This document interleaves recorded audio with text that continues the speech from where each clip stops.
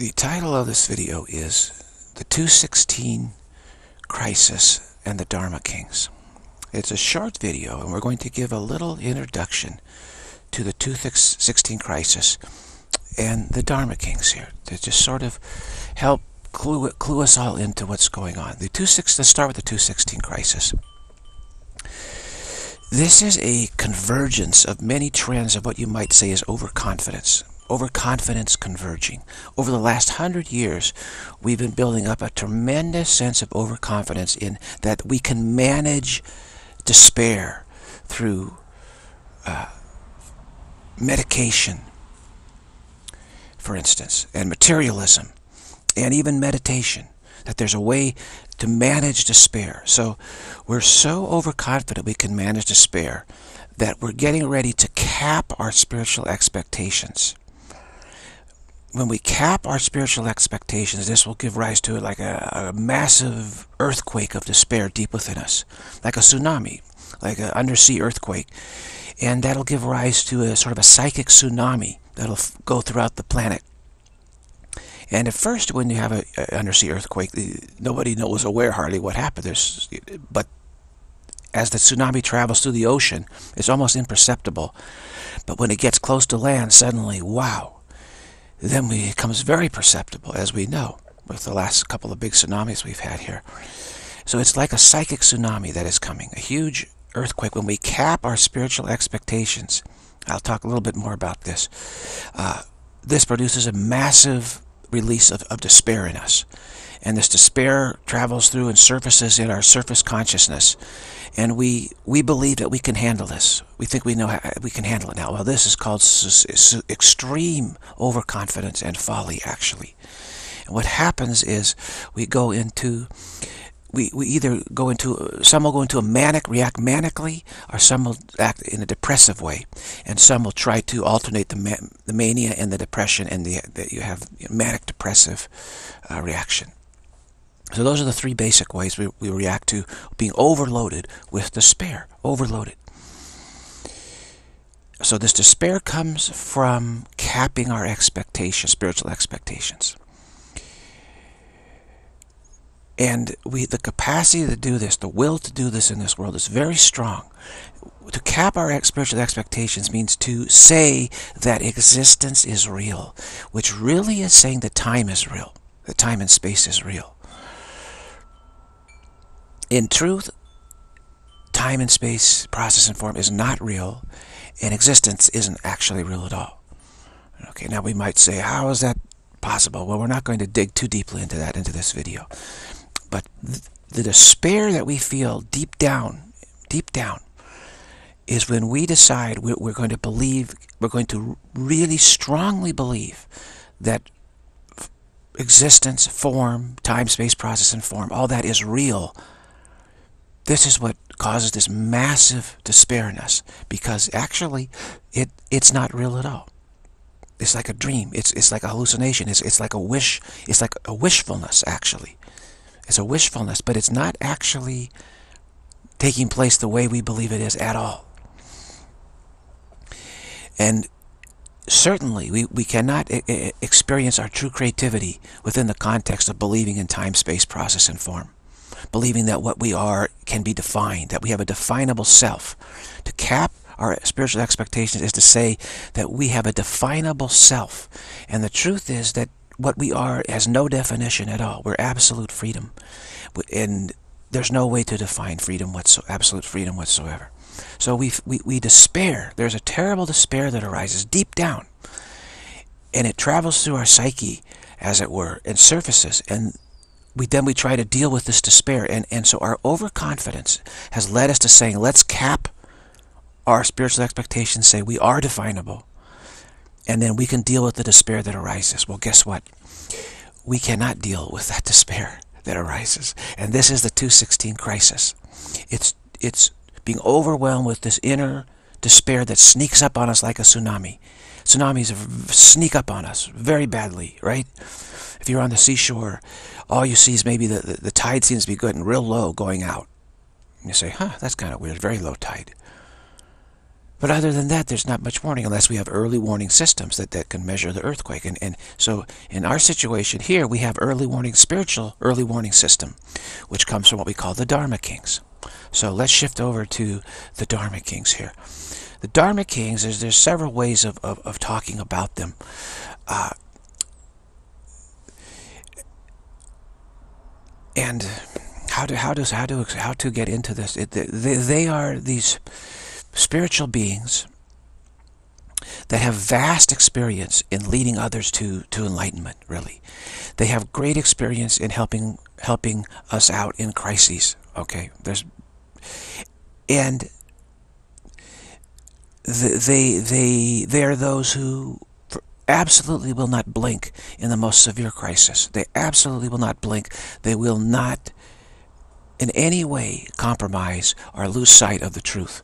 No matter what the pressure is, no matter what the crisis is, they, they remain totally smoothly adamant about truth. So basically you can say they're ones that we can trust, unreservedly trust. There's not a, any doubt in our minds that, that, that no matter what the pressure, what the crisis, what whatever it is that arises, they never lose sight of truth. They will not lose sight of truth at all. And they're extremely skilled in helping those that are struggling with a crisis, a spiritual crisis. Extremely skillful and, and experienced. Very, very experienced. So, the 216 crisis is, is supposed to be the worst crisis that's ever, ever hit us the worst spiritual psychic tsunami of despair and then reactions to that despair which cause massive weirdness in the world, you might say. Massive depression, massive manias, massive manic depression, massive agitation, turmoil, etc. It's supposed to be the worst ever. By far, because of the technology and the social media and the way the world is right now, it amplifies it very badly. There's this extreme overconfidence in the world right now. Medication, materialism, and even meditation. And meditation is wonderful unless it's it's done in such a way that is is uh, might say an unrepentant mind. There can meditation can also lead just to trance states, and it can be problematical if it's not done going in the right direction. Okay, going in the right direction. So we have this crisis now. Now the Dharma Kings are aware of this crisis. They're absolutely aware of this crisis. And they have been warning us and warning us and preparing us behind the scenes to get through this crisis properly. Now, do we have some names to attach to the Dharma Kings? Absolutely. Here, uh, I will talk about five of them. There's five of them that I have had direct contact with. And I have tested them out and for long enough to feel that that these are truly Dharma kings, they're unimpe unimpeachable. They will not blink in any crisis. I am certain of this. This is how I feel through through all all of the sermon that I've brought to this situation, which is a lifetime really uh, of working on this, preparing for this crisis. Uh, and you'll recognize these most of these names, most for sure. Uh, and maybe some of them not so much. Ramana Maharshi is a Dharma king. Okay, now most people are familiar with Ramana Maharshi. Okay, I'm very close to Ramana Maharshi. I have had contact with Ramana Maharshi. I know what he's like, what he's about. Yeah, he, he is a Dharma king, no question about it. He's, he's absolutely fabulous. He will not bend or break or blink no matter what. No matter what. And he is just uh, absolutely beautifully adamant. So there's one of the Dharma Kings, and he is here to help us in spirit, absolutely focused, aware of the help that we need, and uh, is helping us and will help us greatly. Another Dharma King, a recent one, uh, Sri Sri Anandamayi Ma. 100% Dharma King. Uh, absolutely fabulous. She showed for 86 years of her life here that never once did she ever take her attention off of truth here under the most extreme pressures here in the world to do so. Never ever believed that existence was real or time was real in any regard. So she was unimpeachably standing up to all pressures, all deceits, all tricks, whatever was thrown at her, didn't face her in the slightest bit. Yeah, she's extraordinary, absolutely extraordinary. So there's another Dharma King, recent one, 1896 to 1982. So it was really, Ramana, of course, passed away, I believe it was 1950. Another recent Dharma King that isn't well known is Jamyang Khyentse Chokyi Lodro, a, a great Tibet, Tibetan master who passed away, I think, in 1959. Uh, so he's lesser known and probably has a lesser experience than the others. But I put him in the category of a Dharma king. Uh, he seemed to have just absolute facility in every direction. He's the every every parameter I lo I've looked at, he passes the, the, the, test of a Dharma king. But he may not have as much experience as some of the others. I don't know. Uh, but actually, I find him supremely helpful because maybe he's like the newest Dharma king or something like that. And so he seems more approachable. I've met him in spirit and he's so approachable. There's there's no awe, there's no feeling. It's just like you're you're talking with your neighbor or your best friend or something. It's just it's so easy to relate with him. And I sort of feel like he's a very great go-between between us and the Dharma Kings. You know, if, if we need to really feel we're a little bit overwhelmed by these other Dharma Kings, he can really step in. And, and I don't have any problem relating with him beautifully. I just love him. Uh, but as far as his, his spiritual acumen and everything, uh, he is just uh, just absolutely fabulous. And so I say that he's a he's a Dharma king. Now we get to some of the historical, two of the historical heavyweights. Uh, of course, Jesus Christ. Jesus Christ is, is, is an unimpeachable Dharma king, to say the least. Uh, he is simply so fabulous that it, I cannot I cannot even hardly explain it. Uh, now, a Course in Miracles was given out by Jesus Christ as a way to prepare us for this crisis. Journey Beyond Words and the Other Voice, also a couple of books by Dr. Brent Haskell, transcribing Jesus Christ. He knows all about this crisis. He is he came here 2,000 years ago to help get us going so that this we could get through this crisis. This crisis has been known about for a long time, the convergence of overconfidence that happens on, on a planet when technology is brought into, into the scene and materialism is suddenly bumped up, you know, really severely, and the medications suddenly become available. All these med medications, you know, the psychotropic medications, uh, you know, antidepressants, anti-anxiety, all this stuff. So many so and stress to deal with all the illnesses that come from stress, severe despair, we have vast cornucopia of medications now, don't we? More coming on all the time. This is part of this convergence of overconfidence. And then we have sort of a superficial spirituality that we think, yeah, okay, I can just, if I just can meditate a little bit, this should get me through despair. Yeah. So he's, he's, he's very aware of all this. And he is back, his focus is back here over a year ago. I was aware that he announced to the world in spirit, spiritually announced that he's back and he is ready here to relate with to all of us as friends at the level of friends. Meaning he, he, he is here to stand side walk side by side with us so to speak spiritually speaking. Spiritually speaking I've had vast amount of contact with Jesus Christ. And uh, just you know whatever people think of him about the religions in his name, this is not the same thing as, as the Dharma King Jesus Christ, uh, who, who is absolutely, you can count on him 100% to never blink or bend in, under any pressure. The other, the, the final, the fifth Dharma King, is one that some know, but, but many will not, which is Longchenpa, perhaps the greatest of all Buddhist adepts. Uh, many have said that, and, and I wouldn't be surprised if he, he's at the, the, the very tippy top uh, Tibetan, a Tibetan master, a Tibetan omniscient Dharma king, uh, someone that is, is so skilled, it just takes your breath away how aware he is of, of, of every minute detail, the whole picture of everything. It's just astonishing, really.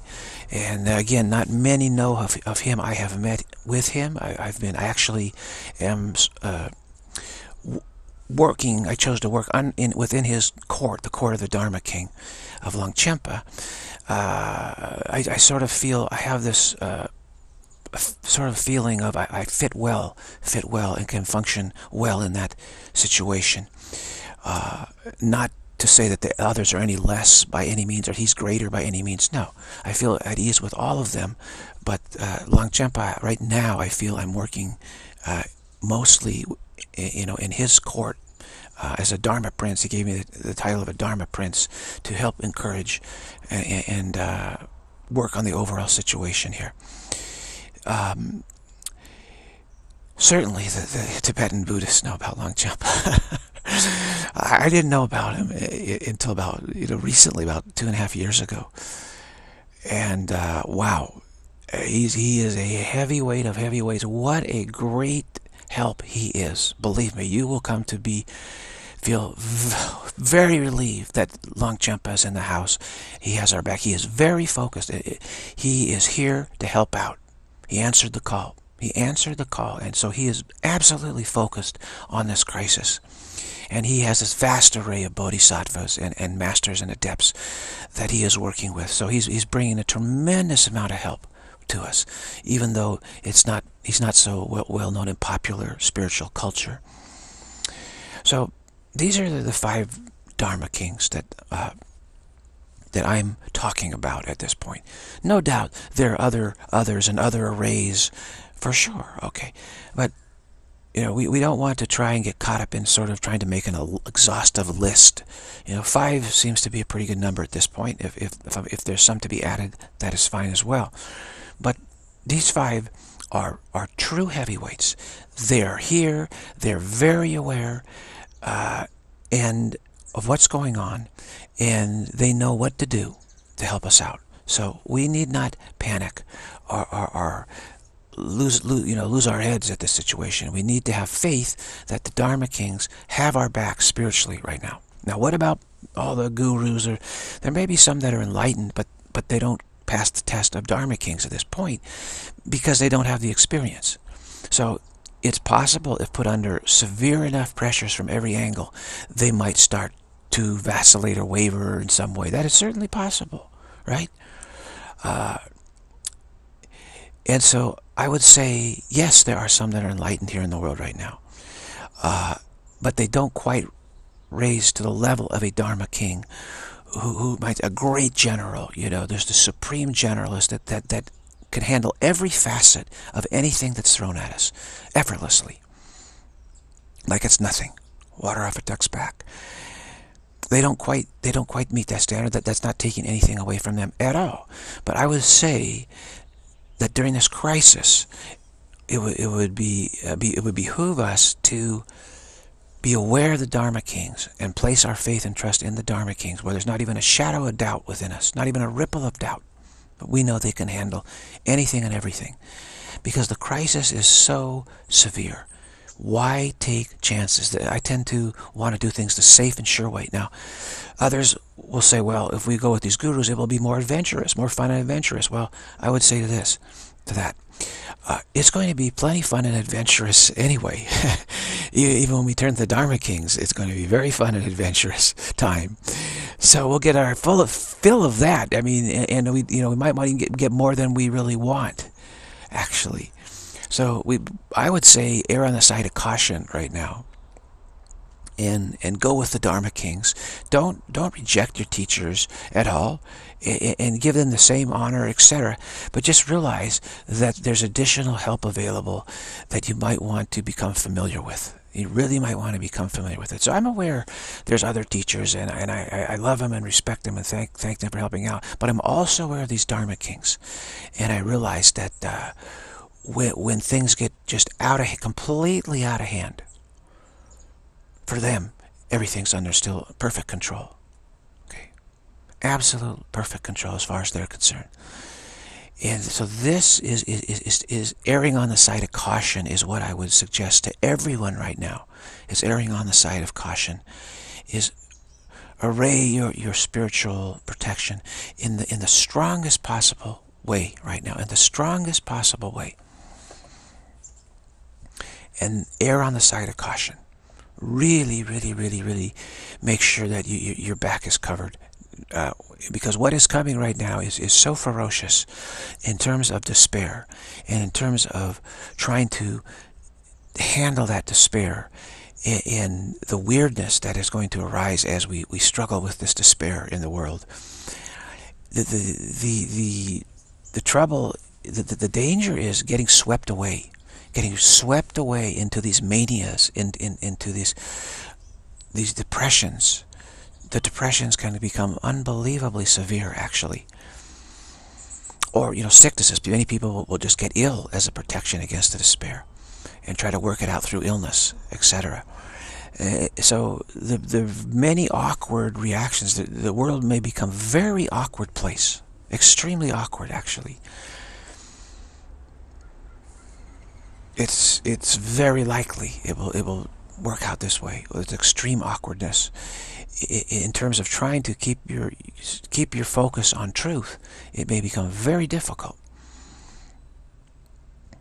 so we want to really get familiar with these Dharma kings, really call upon them, acquaint yourself with them. They will, they can and will contact you, oftentimes in, in, in like dream yoga in sleep,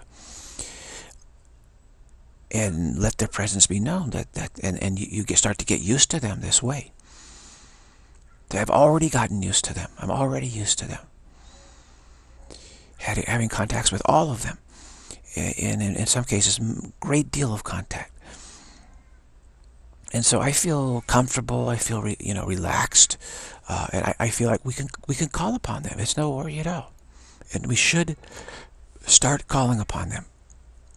Include them in your prayers, in your petitions, in your uh, assertions and affirmations. Include them. And uh, I find having an array of them is very helpful because if you start to struggle in one direction, they, someone else, one of the Dharma Kings can help you, and then another one can step in. Because we're, we're no matter what our focus is today, the awkwardness that, to come will try to ensnare us, and we might st start feeling awkward in some direction. And, and one of the Dharma Kings can come in and sort of stabilize us in, in a way that we didn't expect. It's a very sly, clever time in the world. Those who are overconfident are following the vice of the ego. The ego says, oh, you know, capping your spiritual expectations is no problem. you, know, you just have, well, yeah, you'll have despair, but you can, I'll show you how to manage that. And so they've been following this advice, and they don't realize the troubles that they're they're headed for. Actually, uh, they're kind of like uh, the blind leading the blind. Okay. This is what we have in the world right now. So, 216 crisis, the summer of 216, it's likely there's going to be a, a, a, convergence of overconfidence. It's a convergence of overconfidence that that's the trouble, okay?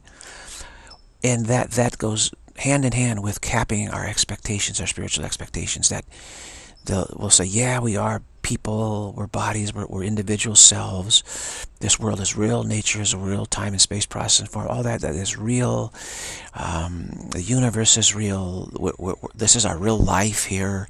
And, but there's a way to be happy. You know, we'll, everyone will, will, will, will accept this, which is really an extreme capping of our spiritual expectations, like putting up a massive prison wall, imprisoning ourselves because this is exactly what the spiritual path is designed to free us from, this false belief system. This is that the ego has this false belief system of, of, of, of what is true. Actually, just a, a whimsical fantasy. It has, it has nothing to do with truth whatsoever. And and yet, and, and so the despair is like a prison, really, for us. It's a prison. We feel imprisoned by it at a deep level. So imagine feeling that the, the, the, door to the prison, like you've been in a prison, you're kind of saying, wow, this place, you know, it's, you know, I don't know, kind of scary in here. I'm not sure I like this place. Yeah, but at least the, the, the, the gate is still open. Okay. Okay, it's not too bad then. And, and, we're getting attracted to all this materialism and medications and various forms of meditation, etc. You're thinking, well, I can probably handle it, handle whatever comes. And then when you see that gate suddenly swing shut very quickly, and clang and locked and some point you just say hey wait a minute. What's going on here? And you go to the gate and you try to open you can't open it and, and, you, and then it hits you that I'm stuck in here and they they don't they don't expect to release me at all. They're not going to release me at all. And, you, and, and so what are you going to do? You're going to start feeling agitated right? You're going to feel despair which starts coming up as agitation or despondency. You might become very despondent or very agitated, manic or depressive, or alternate between the two and start doing all sorts of bizarre rituals and getting, you know, trying to do all sorts of stuff. And, and you, you feel like your mind is just, just getting out of control. Probably won't be able to sleep very well, start turning to medications, etc. This is, this is what the trouble is that we're facing. Okay, but the Dharma Kings have our back. Okay, spiritually, we are certainly covered. There are certain, there is, there are ways to meditate which can be very, very successful and helpful. There, there, there are ways to make assertions. There's a whole toolbox that we have. But the most, most important toolbox is to call upon these Dharma Kings and say, look, I believe you are here. And I believe you do have my back. And I, I thank you for being here. I invite you into my life. I invite you into the world. We're thrilled that you're here. And start talking, talking with them. Actually start spiritually opening opening the door to uh, communicating with them. And this will be... Uh, extremely helpful for you. Actually be extremely helpful for you. Okay, one second here.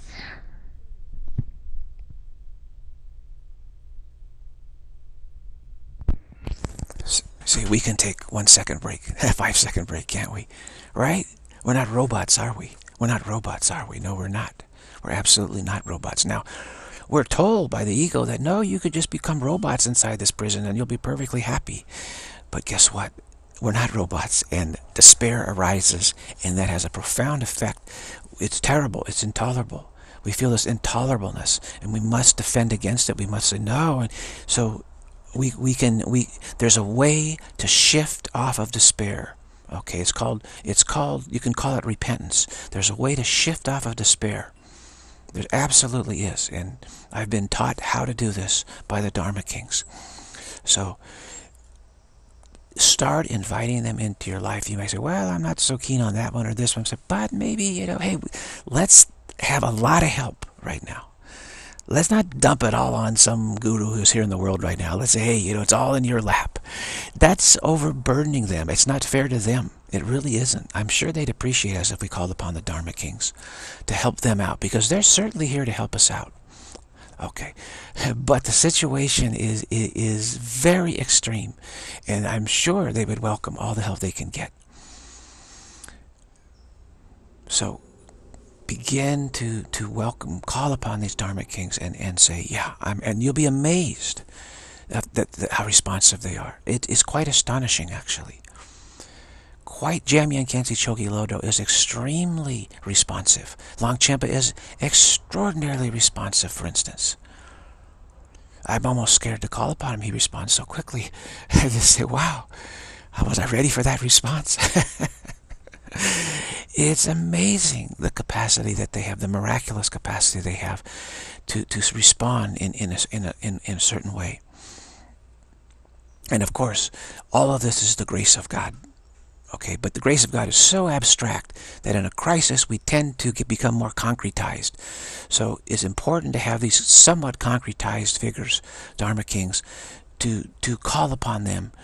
Uh, otherwise, if we leave it completely abstract, we could it, it could be difficult for us, very difficult.